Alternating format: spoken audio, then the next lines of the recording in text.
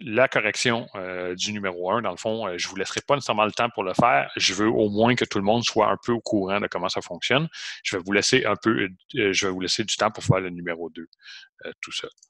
Donc, si on retourne dans Visual Studio, l'énoncé du numéro 1 disait que ça prend une zone de texte, un label et une boîte de messages. Donc, on va commencer par la zone de texte. Donc, si on va dans la boîte à outils, donc à droite de votre écran, vous devriez voir un onglet qui s'appelle Boîte à outils.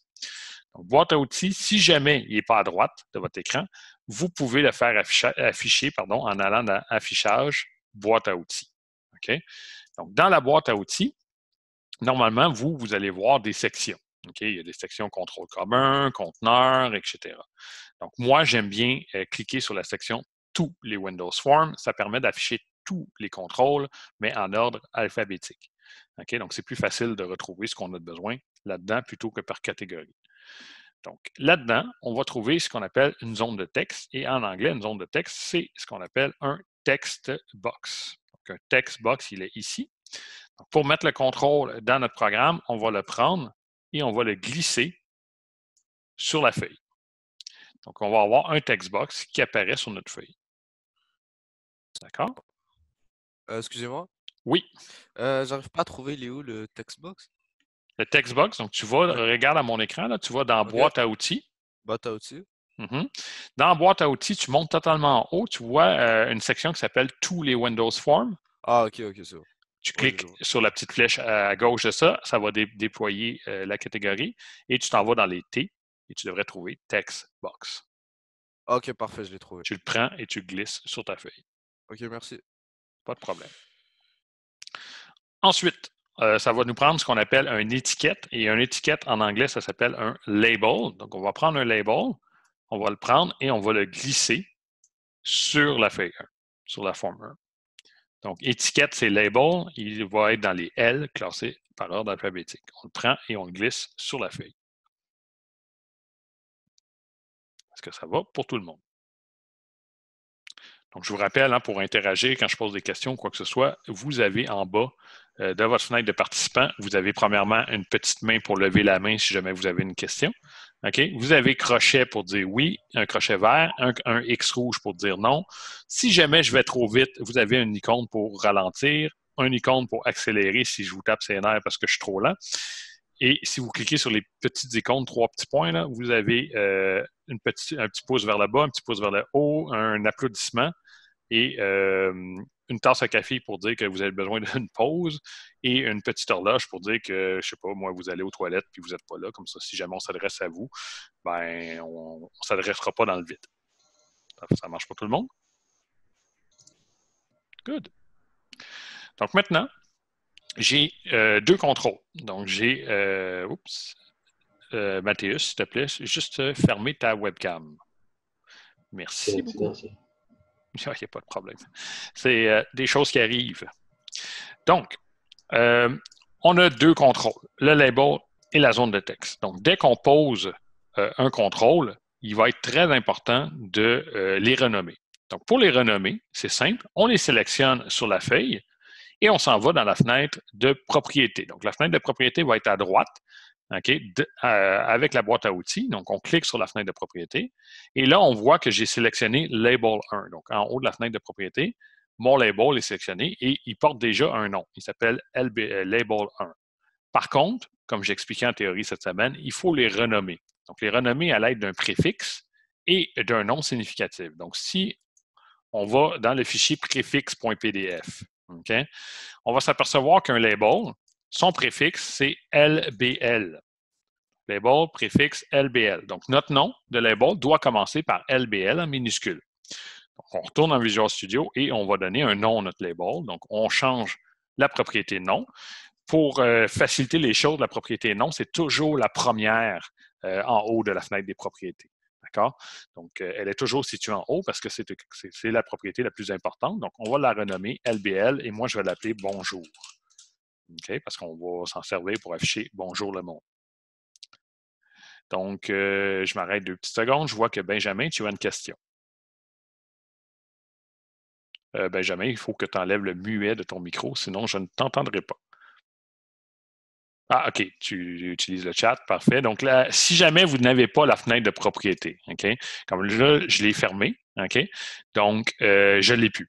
Comment on fait pour la faire apparaître? Bien, comme toutes les choses qu'on ne trouve plus, c'est dans le menu affichage. Donc, on va dans le menu affichage et on trouve euh, les propriétés. Euh, où est-elle?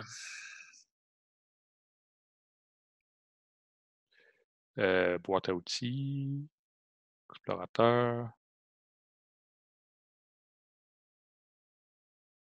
Fenêtre de propriété. Voilà. Donc, euh, si vous ne la trouvez pas, vous allez dans Affichage, Autre fenêtre, et là, vous allez avoir Fenêtre de propriété dans tout ça. OK? Est-ce que vous la trouvez maintenant? Ou si vous ne la trouvez pas et que ça va euh, plus, euh, plus rapidement, vous appuyez sur F4 et ça va faire apparaître la fenêtre de propriété. Ça va pour tout le monde? Tout le monde là? Parfait. Donc, euh, Abdel, tu as une question. Ah non, c'est bon, c'est correct. C'était juste pour les propriétés. OK, parfait. Donc, tu peux baisser ta main, s'il te plaît. Parfait. Donc, voilà. Donc, on a renommé, euh, donc si on va sur la fenêtre de propriété, on s'aperçoit qu'on a renommé notre label en LBL Bonjour. Et on voit qu'en haut ici, c'est marqué LBL Bonjour. Donc, on l'a bien renommé. Maintenant, il nous reste à renommer l'autre contrôle qu'on a mis, donc la zone de texte. Donc, je la sélectionne dans la fenêtre d'édition. Donc, voilà, elle est sélectionnée. Je vais dans la fenêtre de propriété. Je m'aperçois que j'ai choisi Textbox One. Donc, c'est son nom par défaut. On va le renommer. Donc, on va voir les préfixes. Euh, bon, le préfixe pour une textbox, c'est TXT. Donc, TXT. Donc, on retourne dans Visual Studio et on renomme notre contrôle en TXT. Et je vais l'appeler Bonjour elle aussi parce qu'on va encore à nouveau afficher Bonjour le monde à l'intérieur. Donc, j'ai renommé les deux contrôles que j'ai mis. Jusqu'à maintenant, est-ce que tout le monde, ça va?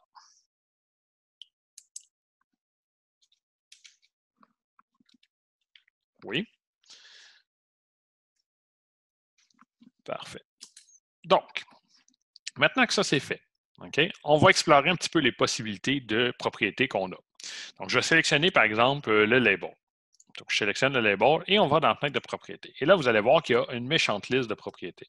On va en utiliser beaucoup, on ne les utilisera pas nécessairement toutes, mais on va en utiliser plusieurs à l'intérieur de tout ça. Et je vais vous en cibler quelques-unes qui vont être intéressantes. OK? Euh, pas de problème, Benjamin. Donc, euh, on, t'attend avec impatience. Donc, tu peux quitter et revenir. Donc, voici l'ensemble des propriétés. Donc, euh, euh, quelques propriétés intéressantes que la propriété back color. OK? Donc, back color, si on clique sur la propriété, on s'aperçoit que c'est une propriété déroulante parce qu'il y a un petit bouton ici où on peut dérouler les propriétés. Et on s'aperçoit qu'il y a plusieurs couleurs qu'on peut choisir. Il y a des couleurs système. Donc ça, ça va être des couleurs qui vont être dépendantes du système d'exploitation que vous utilisez. Donc, par exemple, sous Windows, il y a ce qu'on appelle des thèmes. Donc, si jamais vous changez les thèmes, votre programme s'adapterait dans le fond à votre thème. D'accord? Il y a ensuite des couleurs qu'on dit web. Donc, c'est des couleurs qui sont utilisables autant dans Visual Studio que sur une page web. Donc, ça peut être utile si on a l'intention de faire deux versions de notre programme, hein, une version euh, PC et une version utilisable sur le web. Donc, on serait sûr d'avoir les mêmes couleurs. Et ensuite, on a les couleurs personnalisées où il y a toutes sortes de couleurs qu'on peut choisir. Donc, je peux choisir, par exemple, un petit jaune pâle. Donc, si je clique sur jaune pâle, on voit en temps réel que le fond de mon label vient de changer pour jaune pâle. Donc, on vient de découvrir que la propriété back color change la couleur de fond de euh, mon label. Ensuite, il y en a un autre qui peut être intéressant, c'est la propriété for color. Donc, for color, tout comme le back color, qu'est-ce que ça va faire? Ça va changer la couleur de quelque chose. Mais de quoi? Changeons-la et on va bien voir. Donc, je vais le mettre rouge. Et on s'aperçoit que la propriété for color, ça change la couleur, mais du texte cette fois-ci. Une autre propriété très intéressante, c'est la propriété font. Donc, la propriété font, c'est une propriété multiple, d'où le petit plus ici à gauche du nom de la propriété. Donc, si on clique sur le petit plus, on va voir l'ensemble des propriétés qu'on peut changer. Mais encore plus intéressant, les propriétés multiples, ils ont un petit bouton avec trois petits points dessus, ici à droite. Donc, si on clique dessus, on va s'apercevoir qu'il y a une fenêtre qui apparaît dans laquelle on peut aller changer tout ce qu'on veut à propos de la police de notre label. Donc, on peut changer pour un autre police, euh, mettre en gras, grossir le texte, le barrer et euh, le souligner. Voilà. Donc, si j'appuie sur OK, on s'aperçoit que le label change. Donc, les trois petits points, hein, pour ceux qui ne le trouvent pas, c'est quand on clique sur la propriété font, on s'aperçoit qu'à droite de la propriété, il y a un petit bouton avec trois petits points ici. Je le pointe avec mon curseur de souris. Donc, si on clique dessus, ça fait apparaître la fenêtre où on peut tout changer. Est-ce que tu l'as trouvé, Frédéric? Parfait.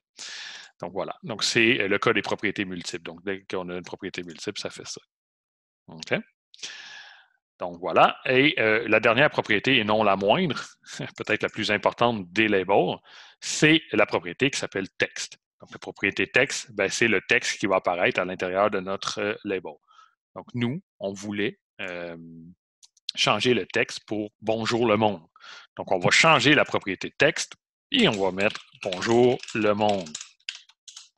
Voilà. Donc on voit qu'en temps réel, notre label change pour Bonjour le monde. OK? Donc, l'interface ici, c'est ce qu'on appelle une interface WYSIWYG.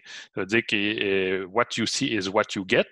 Ça veut dire qu'on peut bouger euh, nos contrôles pour les placer, etc. Donc, si je place mon contrôle en bas à droite, quand je vais démarrer, hein, quand je vais compiler mon programme, mon label va être en bas à droite.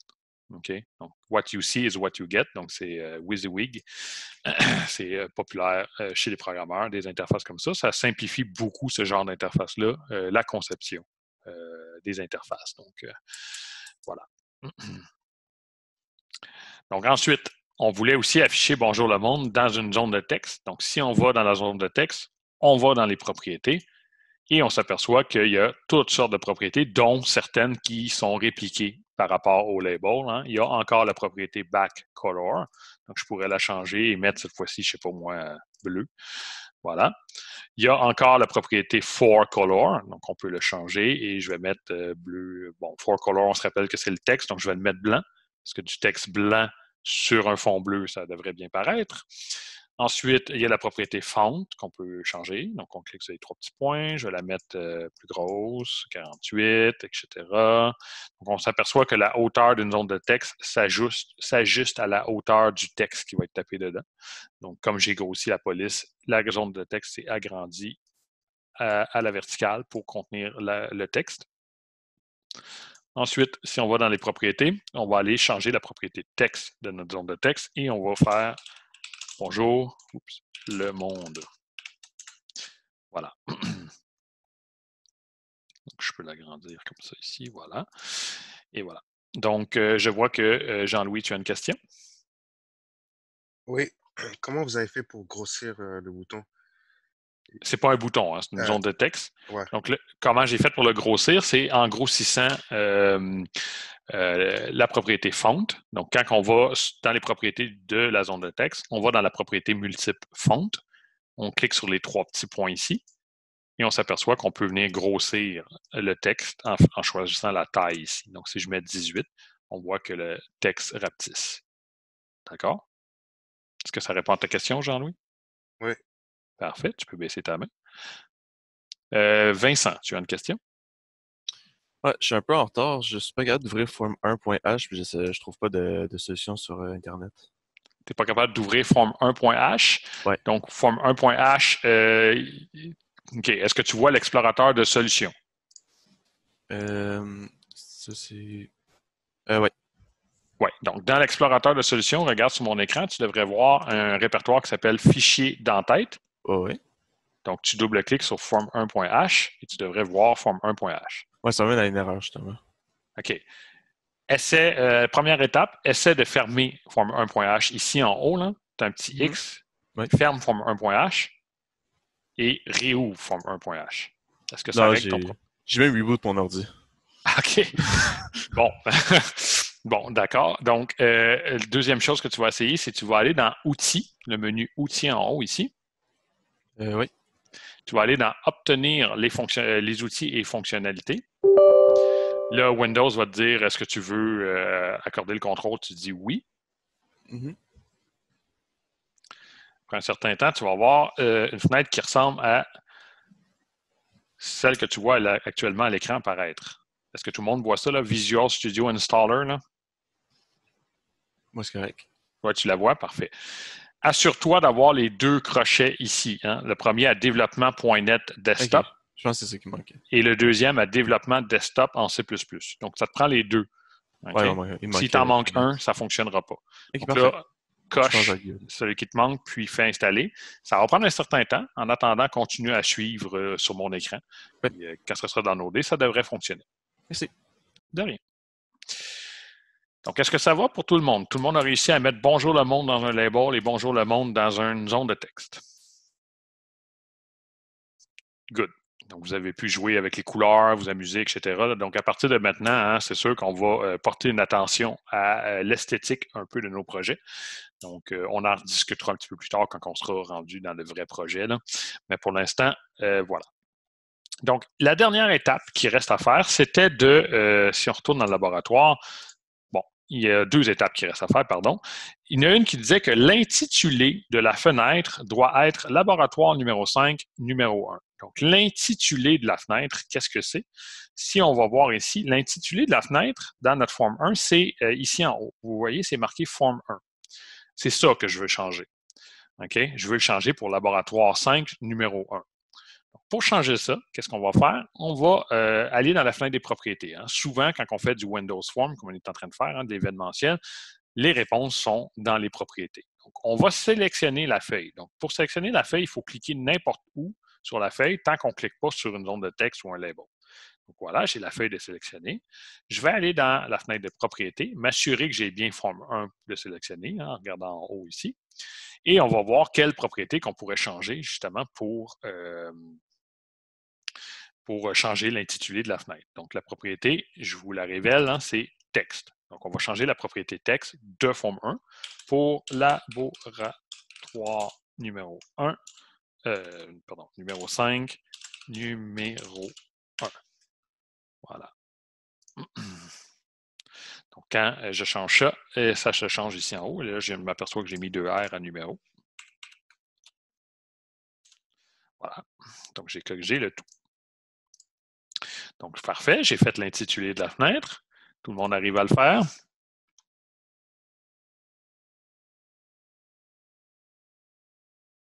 Parfait. Donc, je ne vois pas de main levée, donc c'est bon signe. Si je retourne dans l'énoncé du lab, il nous reste une dernière chose à faire. hein. Je voulais faire apparaître Bonjour le monde dans une zone de texte, dans une étiquette. Il me reste à le faire apparaître dans une boîte de messages. Pour faire apparaître une boîte de messages, hein, ce n'est pas un contrôle. Donc, si on le cherche dans la boîte à outils, on ne verra pas boîte à messages ou message box en anglais. On ne le verra pas parce que ce n'est pas un contrôle disponible dans la boîte à outils. Pour le faire apparaître, il faut avoir un événement qui le fait apparaître. Et la meilleure chose pour déclencher des événements, c'est généralement un bouton. Donc, on va ajouter un bouton à notre euh, forme 1. On prend le bouton et on le glisse sur la forme. Quand on pose un contrôle, qu'est-ce qu'on fait pour la première chose qu'on fait, c'est qu'on le renomme. Donc, j'ai le bouton de sélectionner, je m'en vais dans la fenêtre de propriété, je m'en vais dans la propriété name, je vous rappelle qu'elle est toujours située en haut, et je renomme. Donc, le préfixe pour un bouton, on, peut aller voir dans le fichier préfixe.pdf où je vous le dis, hein, c'est BTN. Donc, euh, BTN, et je vais appeler mon bouton bonjour parce qu'il va servir encore une fois à afficher bonjour le monde. Voilà. Dans les propriétés du bouton, je peux, comme pas mal tout le reste, aller changer la grosseur du texte. Je vais le mettre en gras et à 16. Ensuite, euh, je peux aller changer le texte qui apparaît sur mon bouton. Euh, au lieu d'afficher le texte bouton 1, je vais afficher, euh, je ne sais pas moi, cliquer ici. Voilà. Et euh, on s'aperçoit que le bouton, on n'arrive pas à voir tout le texte. Pourquoi? Parce que le bouton n'est pas assez gros. Donc, on va agrandir le bouton. Donc, je vais prendre un des coins, hein, une des encres du- d'un coin, et je vais agrandir le temps de voir euh, tout le texte. Je ne sais pas pourquoi je dédouble mes lettres aujourd'hui. Ça doit être la fatigue. Donc, euh, comme c'est là, je dédouble toutes mes lettres. voilà. Donc, j'ai enlevé le U qui avait de trop. Donc, j'ai un bouton, cliquez ici. Je vais attendre un petit peu que tout le monde arrive à mettre le bouton. Donc, je vais juste me faire un petit crochet vert quand tout le monde a réussi à mettre le bouton.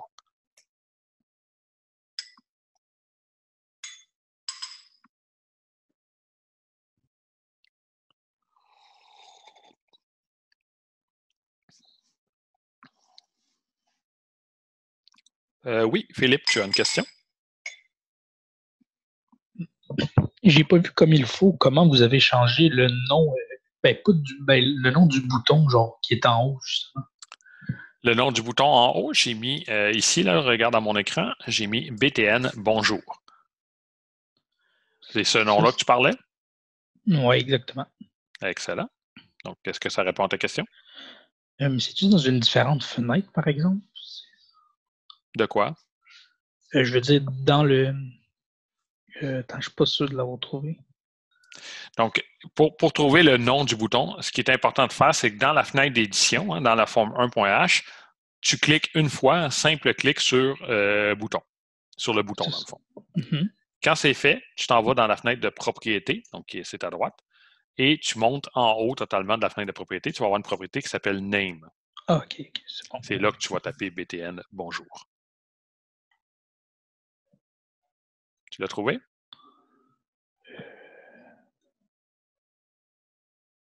OK. Je peux savoir peut-être ton problème. Donc, tout le monde, écoutez, ça peut être important. OK? OK, je l'ai trouvé, ça. Regardez bien. Voyez-vous que mes propriétés sont classées en ordre alphabétique. OK? Mais vous, peut-être qu'ils sont classés par catégorie comme je viens de le faire ici. OK? Et là, ça devient plus dur de trouver le nom. OK? Le nom, si jamais vous êtes classé par catégorie, il est dans la catégorie design. Donc, c'est peut-être le problème que tu avais, Philippe. OK? Les, euh, catégories, les propriétés n'étaient pas classées en ordre alphabétique. Donc, pour les classer en, ordre alphabétique, vous avez deux choix. En haut de la fenêtre de propriété, vous avez deux icônes. La première, c'est pour les classer en, en catégorie. OK? Et la deuxième, c'est pour les classer en ordre alphabétique. Personnellement, je préfère les classer en ordre alphabétique parce que je trouve ça plus facile de les trouver euh, quand ils sont en ordre alphabétique comme ça. OK? Donc, vous avez juste à cliquer une des deux icônes ici en haut pour réussir à les changer d'ordre. Donc, euh, je vois que Jean-Louis, tu as une question? Euh, ouais, j'avais réussi à le faire, mais ma fenêtre, je pense que je l'ai effacée sans faire exprès.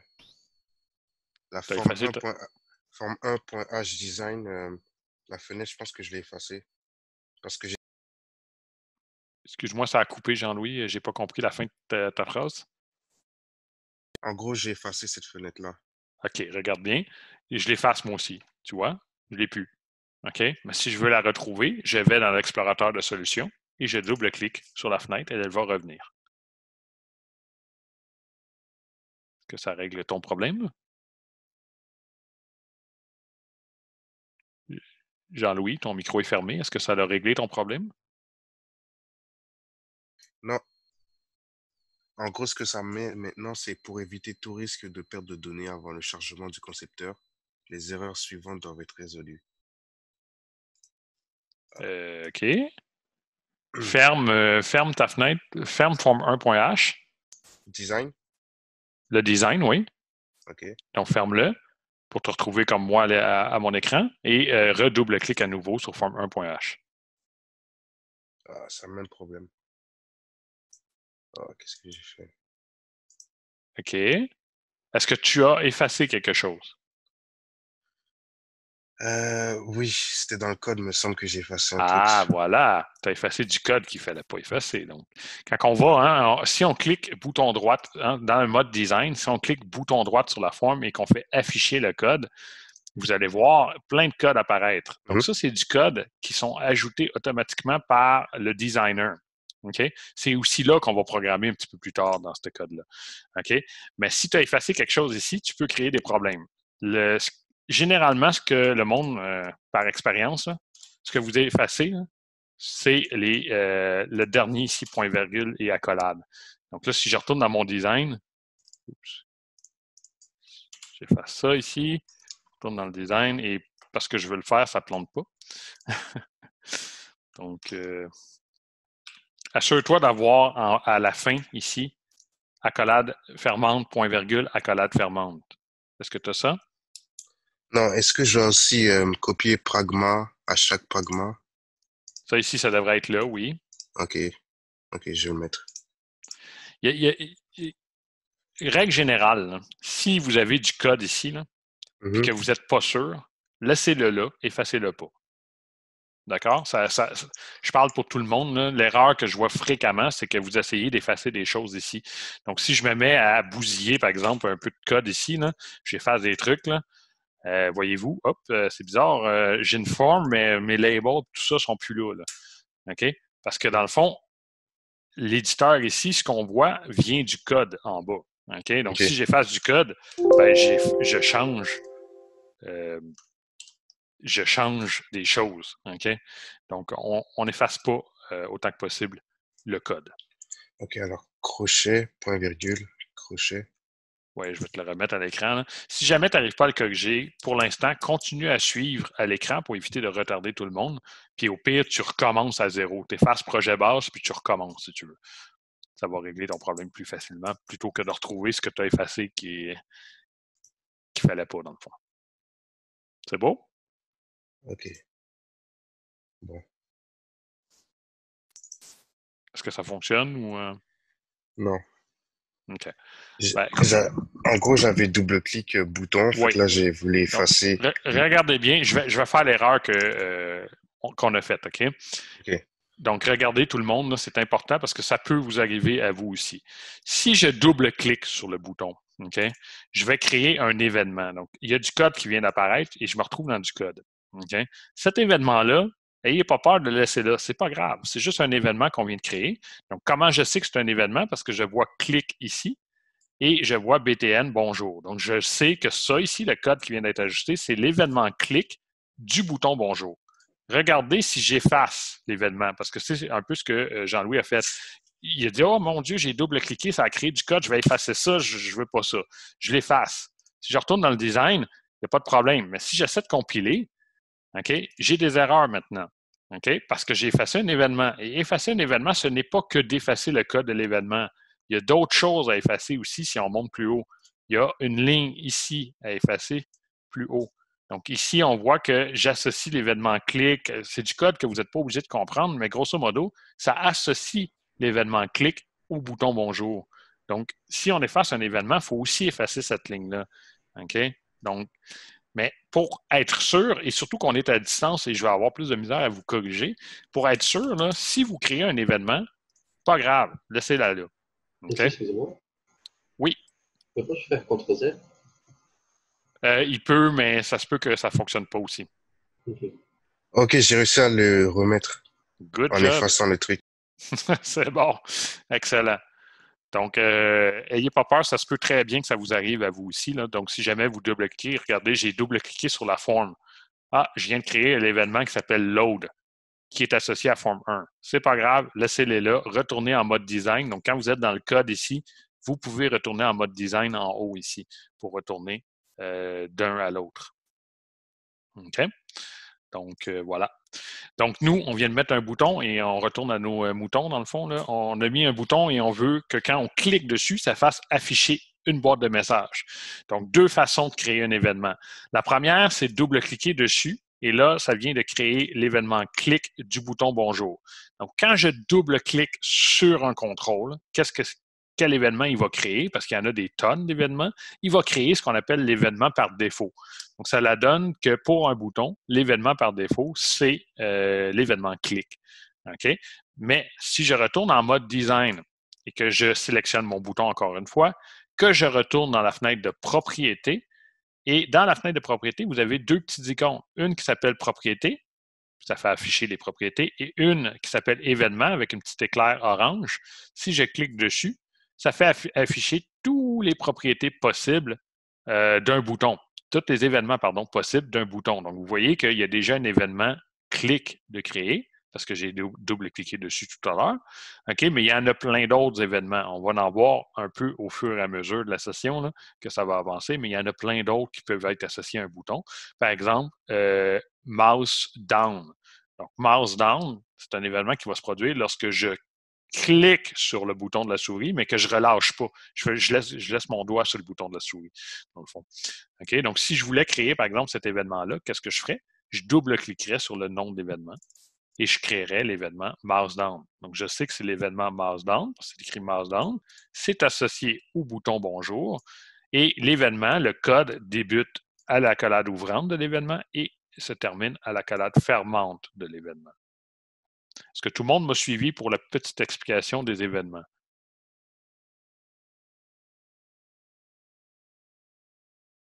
Oui? D'accord. Donc, maintenant, on retourne à nos moutons. Je veux faire afficher Bonjour le monde quand je clique sur le bouton. Donc, naturellement, il faut que je crée l'événement clic. C'est déjà mon cas. Donc, vous voyez, l'événement clic, elle est ici. Donc, je vais aller écrire mon code entre la collade ouvrante et la collade fermante de l'événement clic. Donc, pour ce faire, pour faire apparaître une message box, je vous donne le code. Il est aussi dans les notes de cours si jamais vous l'oubliez entre aujourd'hui et la prochaine fois que vous travaillez. Donc, c'est message box deux points, deux points, show, ouvre la parenthèse, ouvre les guillemets, j'écris mon message et je ferme les guillemets, je ferme la parenthèse et je mets un point virgule à la fin. D'accord? Donc euh, voilà, euh, c'est euh, la façon de créer une message box.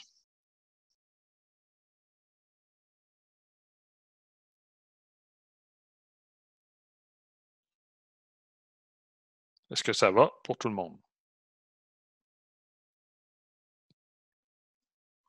Donc, une message box, qu'est-ce que c'est? Donc, si je démarre mon programme,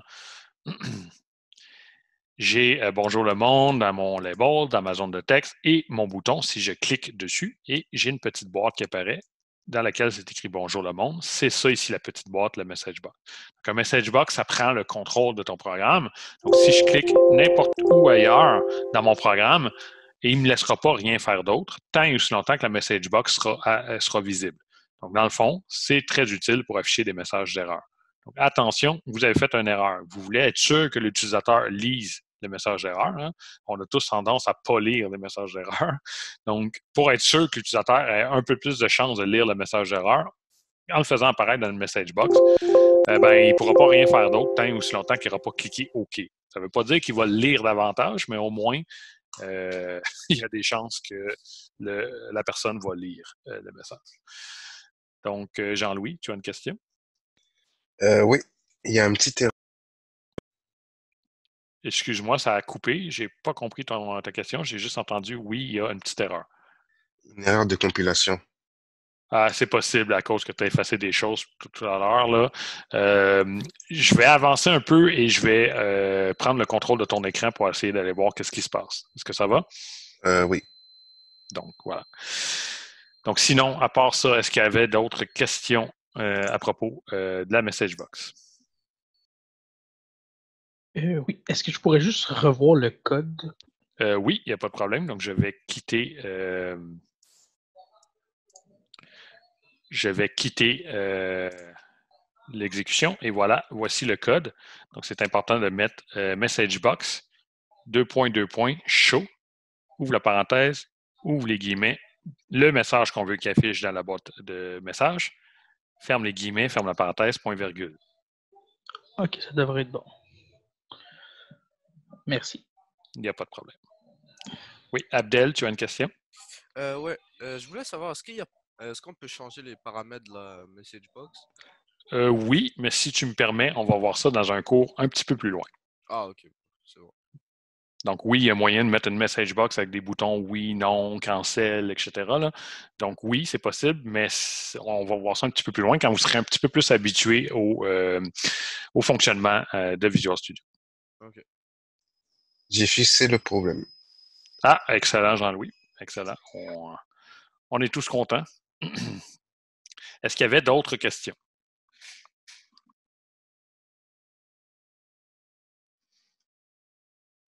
Non? Parfait. Donc, euh, on va euh, passer au prochain numéro. Donc, euh, je vais couper l'enregistrement pour éviter que. Donc, corrigeons le numéro 2 du laboratoire et ensuite, on poursuivra avec le numéro 3. Je ne pense, je penserai pas que personne l'ait réussi par vous-même, donc on va le faire ensemble immédiatement. Donc, on commence, on ouvre le fichier Form 1 et j'imagine que tout le monde a réussi à trouver euh, par eux-mêmes que le contrôle pour faire afficher une, euh, une image, c'est dans la boîte à outils et le contrôle s'appelle Picture Box. Donc, on le prend, on le glisse sur la forme. Ensuite, on s'en va dans notre fichier de préfixe et on se rend compte que le préfixe pour un Picture Box, c'est PIC. Donc, on renomme notre contrôle. Dans les propriétés, on dit PIC et moi, je vais l'appeler image. voilà. Ensuite, pour charger l'image à l'intérieur de la picture box, on a une propriété qui s'appelle image. Donc, on clique dessus, on s'aperçoit qu'il y a trois petits points ici. On peut cliquer sur les trois petits points et aller choisir une image, donc resist.jpg. Voilà. Par contre, euh, est-ce que vous remarquez qu'on ne voit pas l'image? Pourquoi? Parce que notre picture box est trop petite. Donc, on peut agrandir la picture box pour voir euh, l'image au complet ou on peut aller voir la propriété qui s'appelle Size Mode. Donc, la propriété Size Mode, présentement, elle est à normale. Mais si on met cette propriété-là à Stretch Image, vous allez vous apercevoir que l'image va s'adapter à la grosseur de notre picture box. OK? Donc, très important. Euh, pour les projets qui s'en viennent. Donc, adapter l'image à la grosseur de la picture box. Donc, ça évite d'avoir une image énorme ou quoi que ce soit ou de passer par Photoshop pour redimensionner nos images. Donc, le logiciel peut le faire tout seul. Donc, voilà. Est-ce qu'il y avait des questions? Donc, c'était ça le numéro 2. Donc, c'était relativement simple. Euh, là, là, où ça devient plus compliqué, ça va être à partir du numéro 3. Est-ce qu'il y avait des questions pour le numéro 2?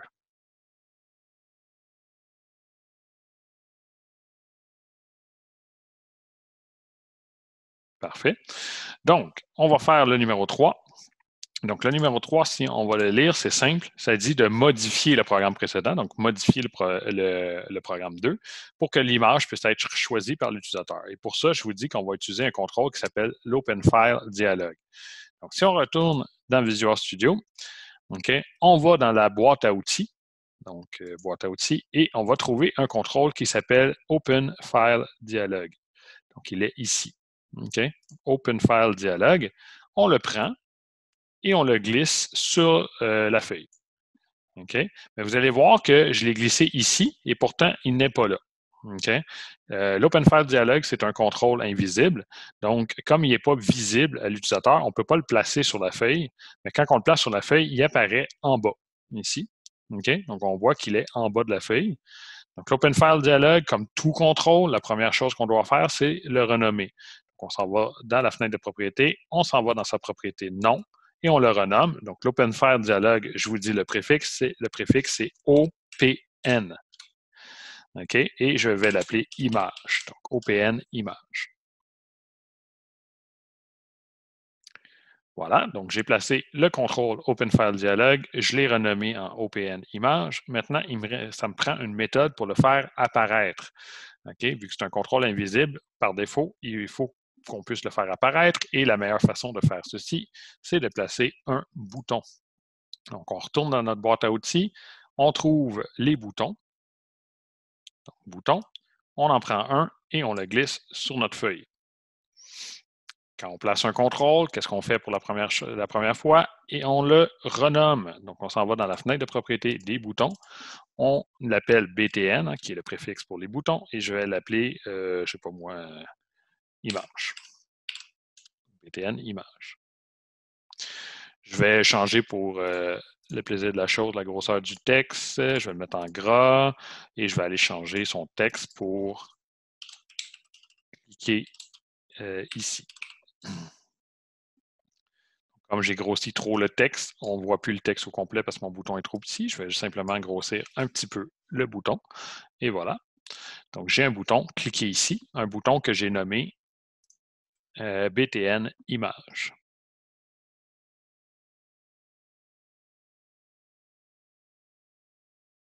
Donc, est-ce qu'il y a des questions jusqu'à maintenant?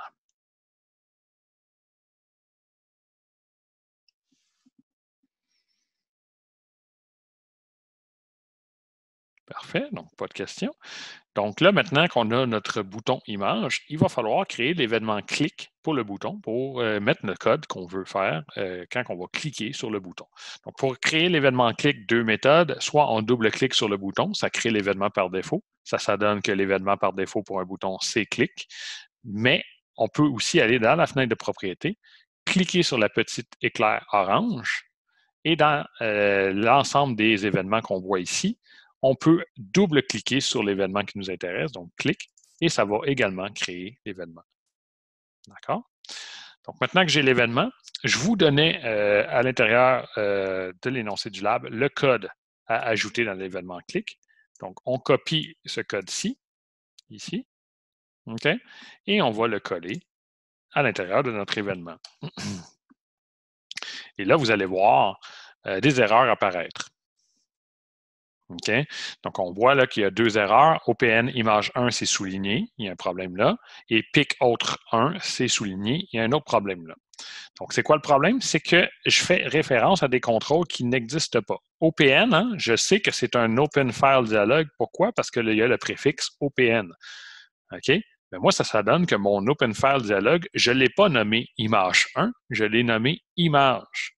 Donc, il faut changer le code pour image. OK? Et partout où j'utilisais OPN image 1, il faut aller changer le code pour avoir le bon nom. Il faut que le nom corresponde. Vous voyez l'importance des préfixes. Je savais immédiatement en voyant le code que OPN quelque chose, c'était un Open File Dialog. Donc, euh, puis j'ai remarqué qu'il n'y avait pas le même nom. C'est important d'avoir les préfixes. C'est pour quand on va être dans le code plus tard, pour savoir à quoi on fait référence. Et j'ai un autre problème avec ma picture box. Hein. Pic, je sais que c'est une picture box à cause du préfixe. Autre 1, est-ce que j'ai une picture box qui s'appelle pic autre 1? Non. La mienne s'appelle pic image. Donc, je renomme et je change ici pour image à place de autre 1. Et voilà, normalement, je devrais avoir corrigé les erreurs. Donc, si je démarre mon programme, OK, je démarre,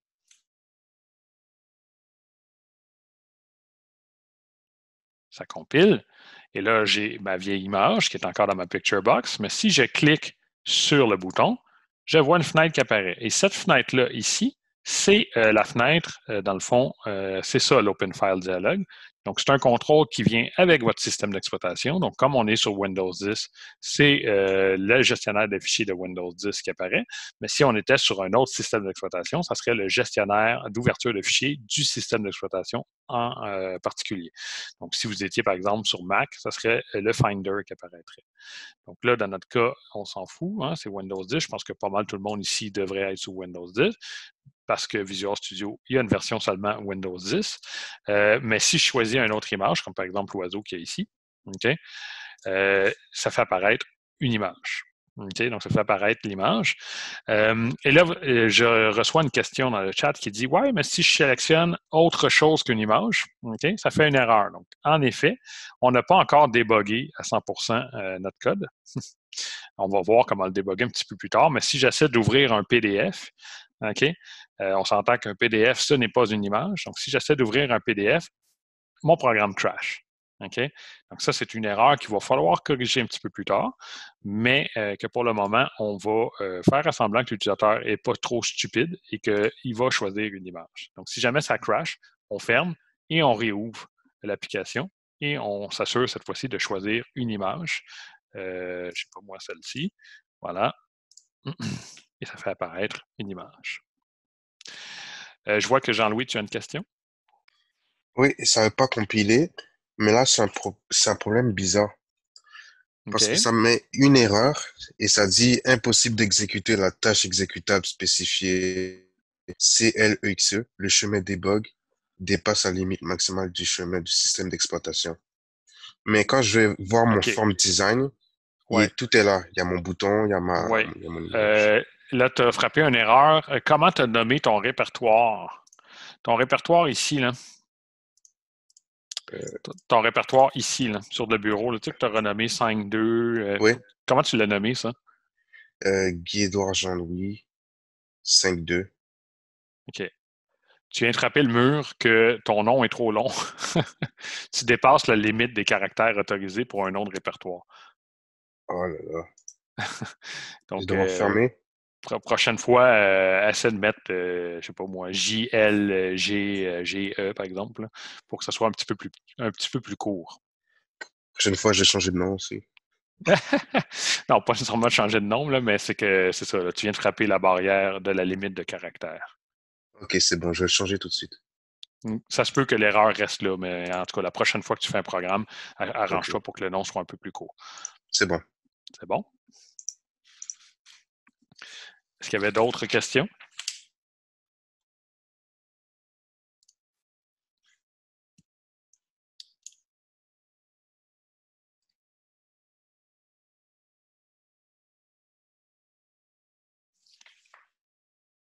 OK, donc il n'y a pas d'autres questions. On va passer au prochain numéro. Donc, si on lit ensemble le prochain numéro, numéro 4, faire un programme qui contient deux boutons et une zone de texte. Lorsqu'on appuie sur le bouton 1, le texte devient, la couleur est bleue et la couleur du texte devient bleue. Et lorsqu'on appuie sur le bouton numéro 2, la couleur du texte change pour le rouge et le texte de la zone de texte change, la couleur est rouge. Donc, grosso modo, on a une zone de texte et deux boutons. Quand je clique sur le premier bouton, le texte à l'intérieur de la zone de texte va changer pour le texte, euh, la, couleur est bleue, et le texte va devenir bleu, en couleur bleue. OK? Quand je clique sur le deuxième bouton, le texte va changer pour la couleur est rouge et euh, le texte va passer en couleur rouge. OK? Donc voilà. Euh, donc, c'est ça qui est ça. Donc, euh, je vous laisse euh, faire euh, quelques temps pour essayer de, au moins de faire l'interface. Donc, essayez de faire l'interface, une zone de texte, deux boutons, changer toutes les propriétés de vos boutons et de vos zones de texte pour qu'ils soient corrects. Et on se retrouve ensuite pour faire le code des événements clics. Donc, ceux qui veulent s'essayer, allez-y, mais je ne crois pas que vous allez réussir sans regarder les notes de code les notes de cours. Donc, euh, je vous laisse, là, comme là, présentement, il est 13h02. Donc, euh, je vous laisse un petit, euh, quoi, 10 minutes. Donc, à 12, on va corriger tous ensemble. Ça va pour tout le monde?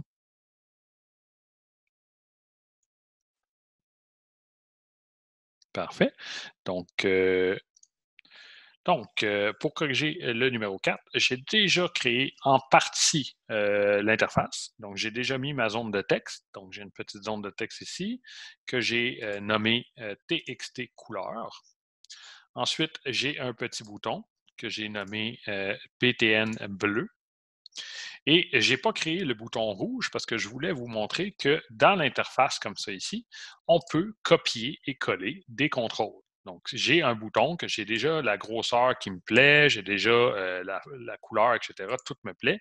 Donc, je peux cliquer bouton droit pour faire copier, cliquer sur la feuille n'importe où et coller. Donc, bouton droit, coller. Donc, j'ai un autre bouton qui vient d'apparaître, identique au premier. Par contre, les contrôles que je colle comme ça, ils ne sont pas nommés. Donc, on va aller dans sa fenêtre de propriété et je vais le renommer hein, en BTN rouge. Et naturellement, je vais changer la couleur du texte hein, parce que ça va être pour le rouge. Donc, je vais le mettre rouge et je vais changer le texte pour euh, rouge. Voilà. Donc, on peut facilement copier-coller des contrôles comme ça, surtout quand on a déterminé la grosseur qui nous plaisait. Donc, si on veut que tous nos contrôles soient de la même grosseur, c'est facile de les changer comme ça ici. Donc, maintenant que notre interface est créée, le but est de, quand je clique sur le bouton bleu, le texte dans la zone de texte ici change pour la couleur est bleue et le texte va être écrit en bleu. Et quand je clique sur le bouton rouge, le texte de la zone de texte va changer pour la couleur est rouge, écrite en rouge. Donc, pour ce faire, hein, j'ai dit quand je clique, quand, quand je clique, qu'est-ce qu'il va falloir que je fasse? Il va falloir que je crée les événements clics de mes deux boutons. Donc, on peut aller dans la fenêtre de propriété du bouton bleu aller dans la fenêtre des événements et double-cliquer sur l'événement clic ici pour créer l'événement clic. Donc là, j'ai créé l'événement clic du bouton bleu, hein, l'événement clic du bouton bleu. Je vais retourner en design et je vais créer tout de suite l'événement clic du bouton rouge. Donc, je vais cette fois-ci, au lieu d'aller par la fenêtre de propriété, je vais double-cliquer sur le bouton rouge, ce qui va créer l'événement par défaut. Voilà, donc j'ai l'événement clic du bouton rouge créé aussi.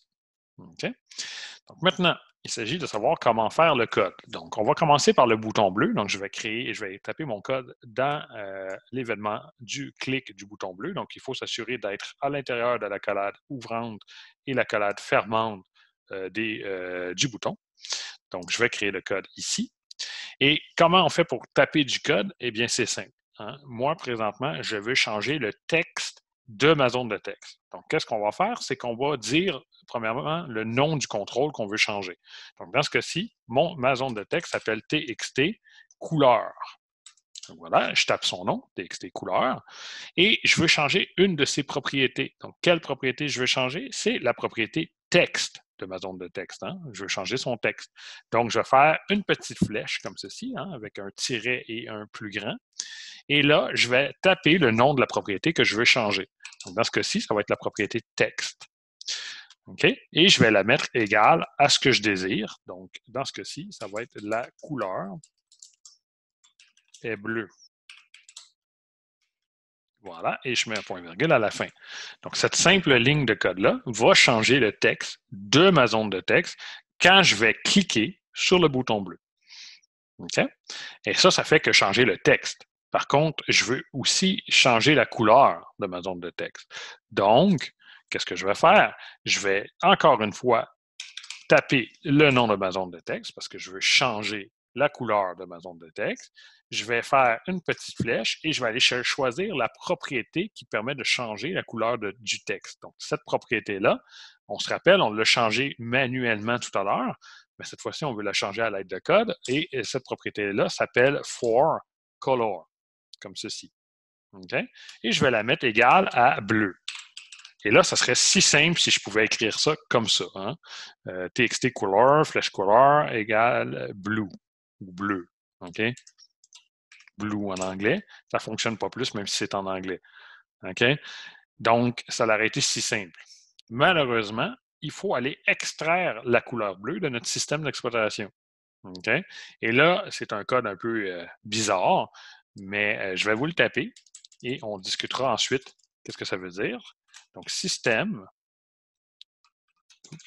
système, deux points, deux points, drawing, deux points, deux points, color, deux points, deux points, blue. voilà. Donc voilà, j'ai tapé les deux lignes de code que je veux qu'ils s'exécutent quand je clique sur le bouton bleu. La première change le texte, la deuxième change la couleur de mon texte. Et qu'est-ce que ça veut dire système 2.2. drawing 2.2. color 2.2. blue? Ça veut dire va dans le système d'exploitation, va dans la classe drawing, OK?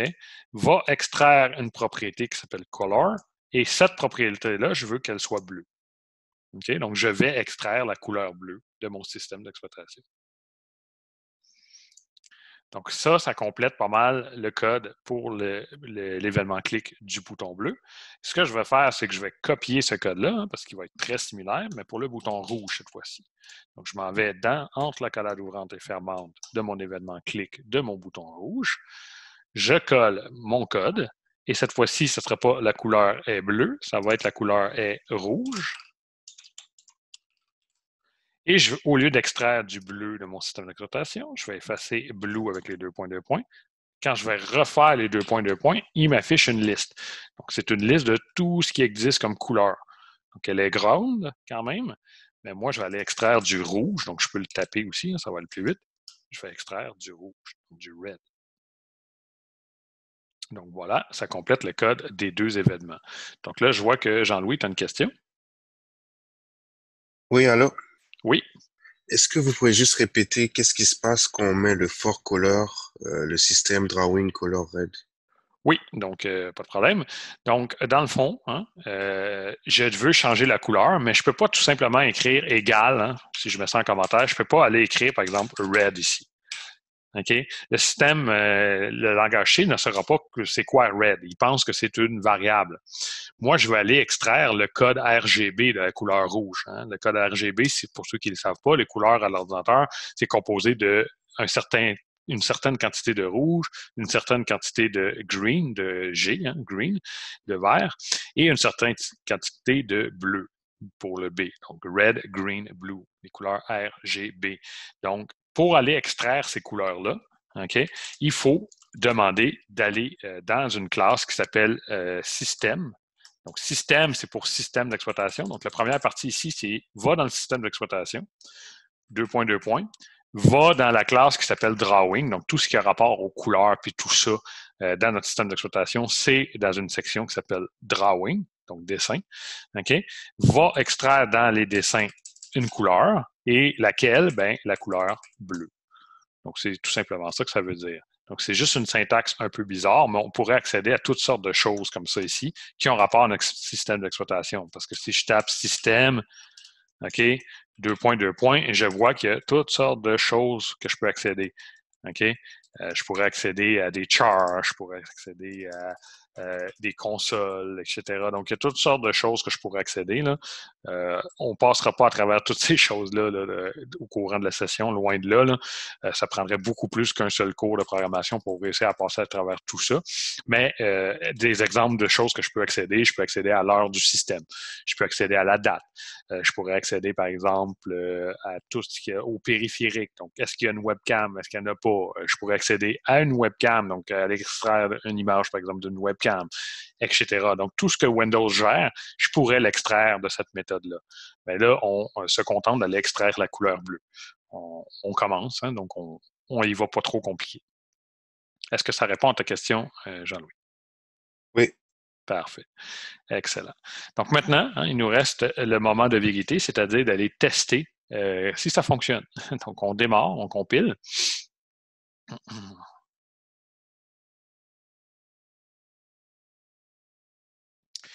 Voilà, j'ai euh, ma belle interface. J'ai rien pour l'instant. Si je clique sur bleu, euh, ça l'affiche, la couleur est bleue et on voit bien que le texte est en bleu.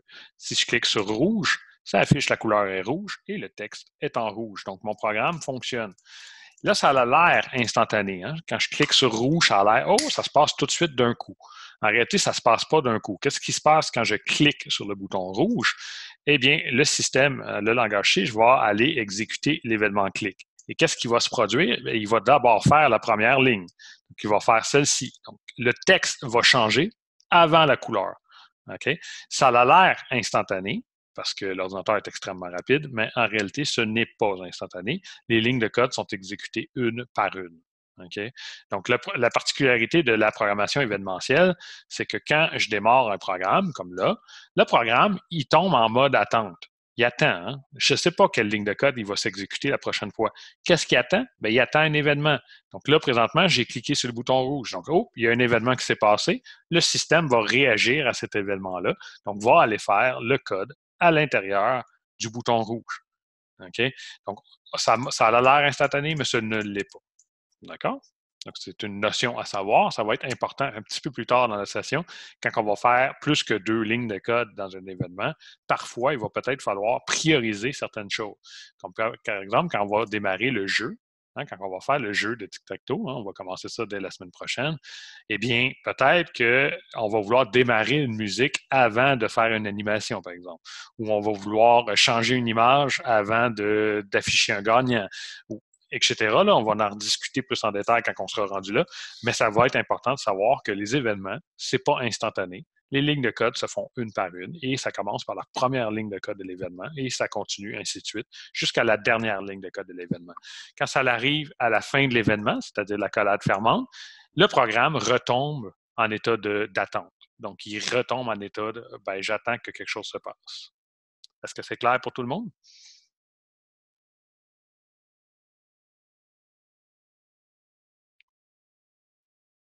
Parfait. Donc, on est déjà rendu euh, presque à la fin du lab. Hein. Donc, euh, si on va voir le lab, il y a le numéro 5. Donc, le numéro 5, eh bien, je vous le laisse faire. Donc, le numéro 5, ça va être simple. Hein. Ça va être de refaire le numéro 6 du lab 1. Si vous, vous rappelez bien, le numéro 6 du lab 1, c'était celui avec euh, la température, hein, convertir des degrés Celsius en Fahrenheit, puis afficher un petit message. Je vais vous laisser le faire. Ça sera votre exercice pour la semaine prochaine. D'accord? Elle ne compte pas, mais si vous voulez vous pratiquer, vous euh, pourrez faire ça. OK? Nous, ce qu'on va faire ensemble présentement, on va passer tout de suite au numéro 6. Donc, le numéro 6, ça ressemble à ceci. Donc, ça dit de faire un programme qui convertit les centimètres en pouces. Donc, j'ai l'interface qui ressemble à ça ici. Donc, on peut voir dans l'interface plusieurs choses. La première des choses, on voit une étiquette, hein, un label donné, où c'est affiché donné. On voit une zone de texte ici pour taper un chiffre. On voit un autre, label ici pour afficher centimètres, un label pour voir résultat, un autre zone de texte ici et un autre label pour afficher pouce et on voit un très gros bouton.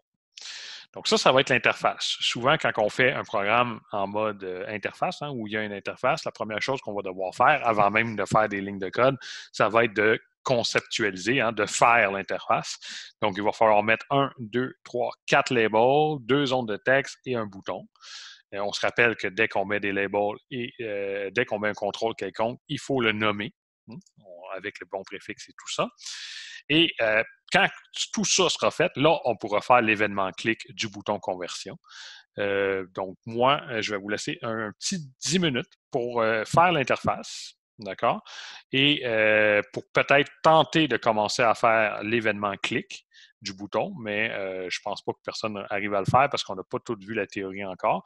Donc, je vous laisse 10 minutes pour au moins faire l'interface et créer l'événement. Puis ensuite, on se retrouve pour faire le code à l'intérieur de l'événement clic. Est-ce que ça va pour tout le monde? Mmh. Oui? Euh, données, hein, ici. Donc, euh, j'ai une question dans le chat et on me demande si le donné ici, c'est un textbox. Eh bien, non, ce n'est pas un textbox, c'est un label. Donc, une étiquette. Ce qui est un textbox, c'est à partir d'ici. Donc, c'est où j'ai écrit le 2.54. D'accord? Et à côté du 2.54, il y a un autre label. Donc, dans le fond, si je compte, il y a 1, 2, 3, 4 labels. Hein. Label données, centimètres, résultat et pouces deux zones de texte, celle où j'ai écrit 2.54, celle où j'ai écrit 1, et un bouton, le bouton conversion.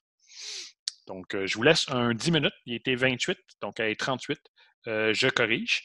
Donc, assurez-vous d'avoir une interface créée et d'avoir créé l'événement clic. On fera ensemble l'événement clic dans 10 minutes.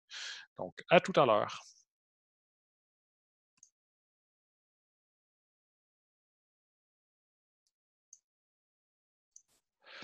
Donc, euh, pour reprendre euh, la euh, correction du numéro 6, j'ai déjà créé, tout comme vous, hein, l'interface. Donc, j'ai nommé tous mes contrôles. Donc, une méthode pour voir si vos contrôles sont nommés, c'est d'aller dans la fenêtre de propriété et d'aller voir en haut, hein, en haut ici où c'est marqué BTN convert pour conversion. Cliquez sur la petite flèche ici et vous allez voir tous les contrôles qui sont disponibles sur votre forme. Donc là, vous allez pouvoir voir s'ils sont tous nommés. Le seul qu'on nommera jamais, c'est la forme 1. Lui, on ne le renomme pas, mais tous les autres, on peut les renommer avec un bon préfixe. Donc euh, là, on peut voir que tous mes contrôles sont nommés. Donc, parfait, je suis prêt à commencer.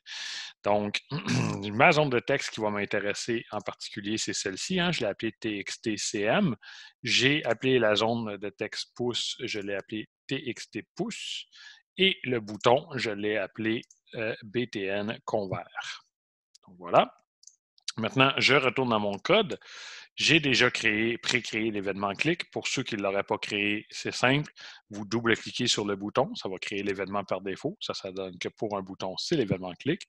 Ou vous sélectionnez le bouton, vous allez dans la fenêtre de propriété, cliquez sur la petite éclair orange et double-cliquez sur l'événement clic. Ça va créer de la même manière l'événement.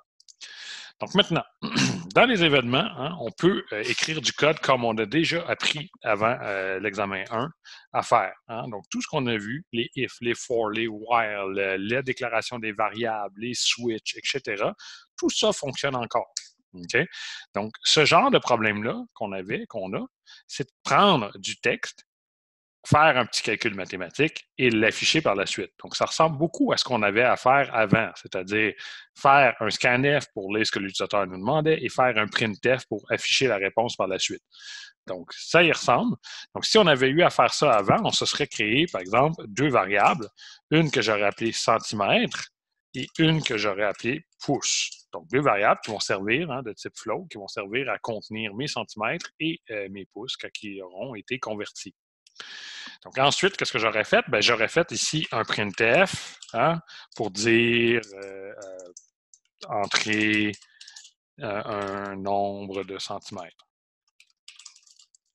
Donc ça, c'est ce que j'aurais fait en temps normal. Par contre, est-ce que j'ai besoin de faire un printf maintenant? Non, parce que mon, mon interface pardon, parle d'elle-même. Hein. Je crois que c'est clair qu'il faut taper quelque chose ici. Donc, c'est notre interface, dans le fond, qui remplace nos, nos. Donc, je n'ai pas de printf à faire. C'est remplacé par l'interface. Par contre, par la suite, hein, après avoir affiché à euh, l'utilisateur quoi faire, j'aurais dû faire un scanf. Mais un scanf, ça n'existe plus pour ceux qui n'aimaient pas les scanf. Vous allez être heureux d'apprendre que c'est remplacé par d'autres choses. D'autres choses un peu plus intelligentes. OK? Et euh, ensuite, on aurait eu à faire notre calcul. Euh, puis ensuite, on aurait eu à afficher la réponse. Donc, c'est pas mal l'algorithme, hein, le pseudocode qu'on aurait fait en temps normal jusqu'à maintenant si on avait fait ça en mode console. Donc, on va le faire cette fois-ci, mais en mode euh, événementiel, donc avec une interface graphique. Donc, le printf, comme je disais, a déjà été remplacé. On va faire le scanf. Donc, je vais d'abord le taper et ensuite, je vais vous l'expliquer. Donc, vous pouvez faire la même chose. Donc, taper le scanf, ou du moins ce qui remplace le scanf.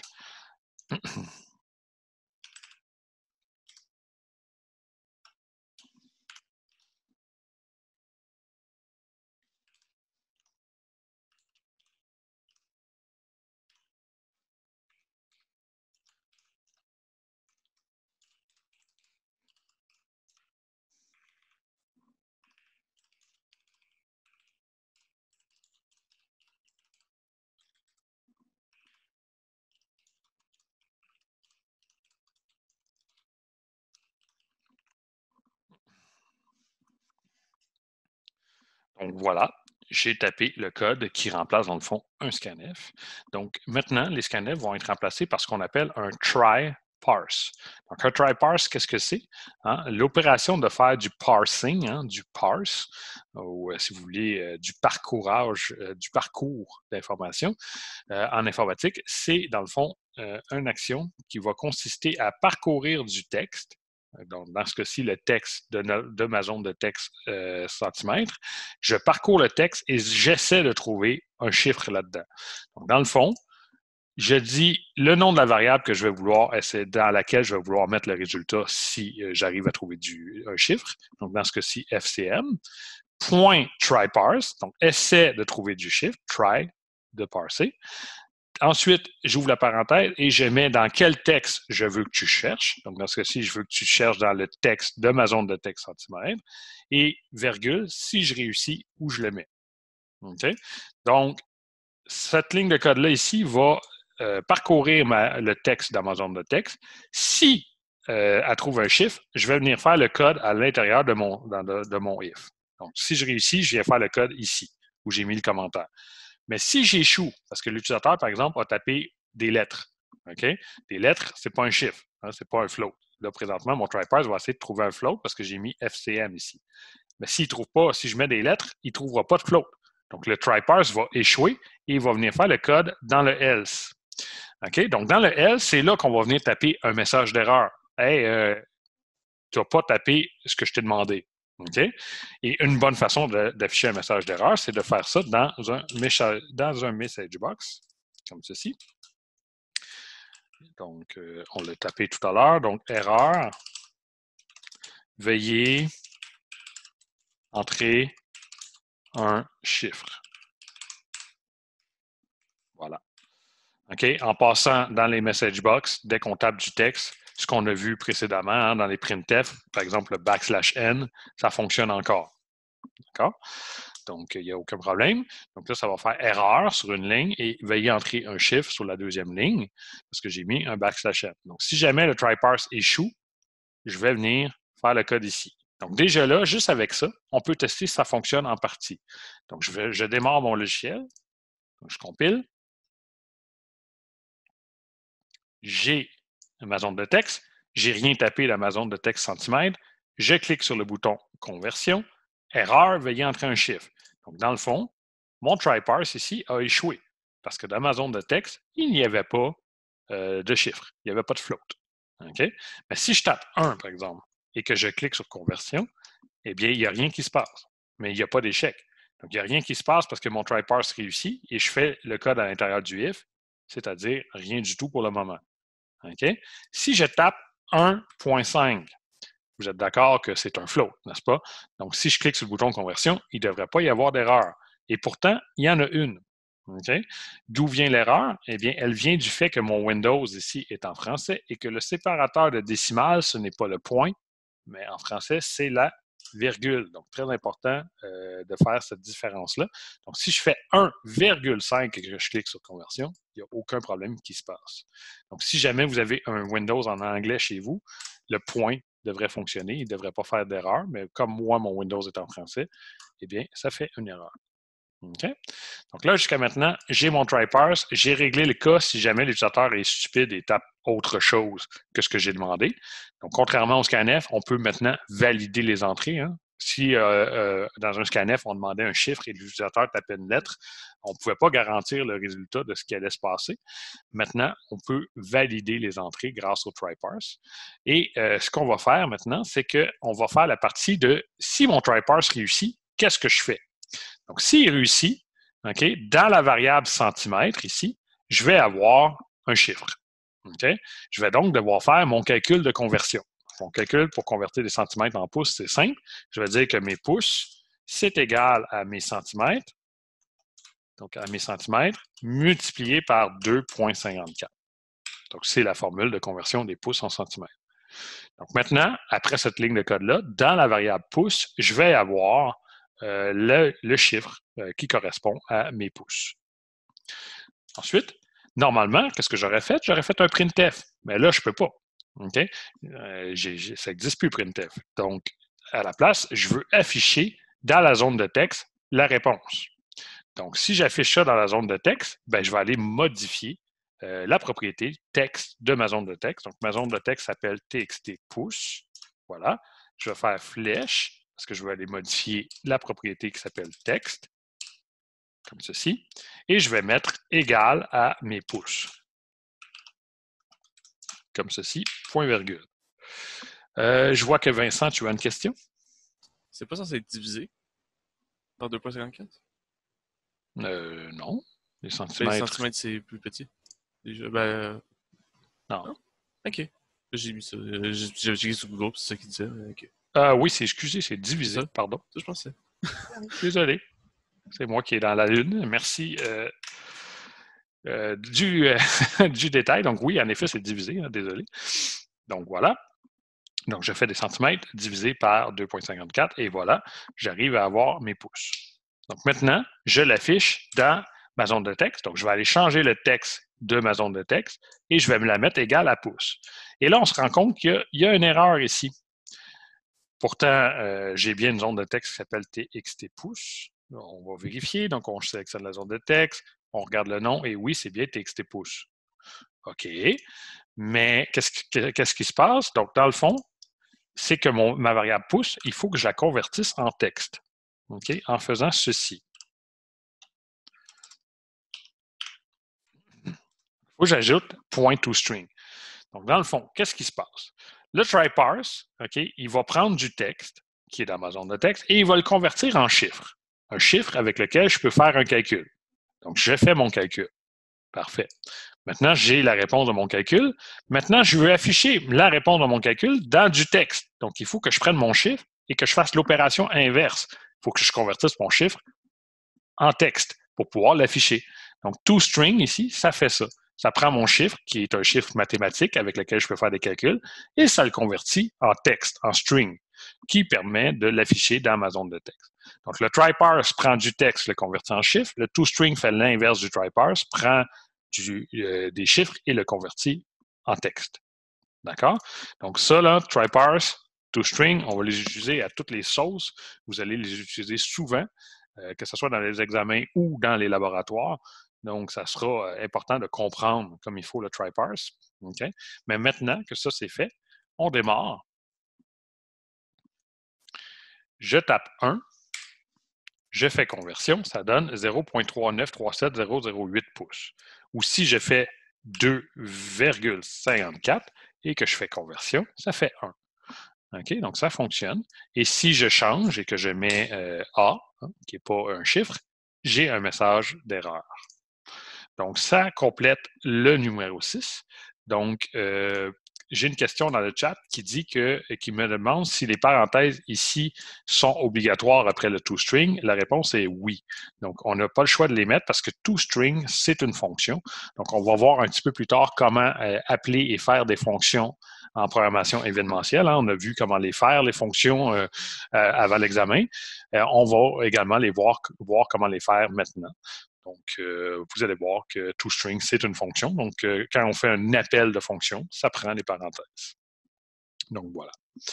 je ne sais pas s'il y avait d'autres questions sur le numéro 6.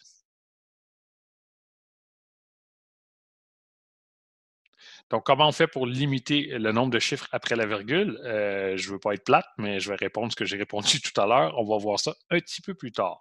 OK?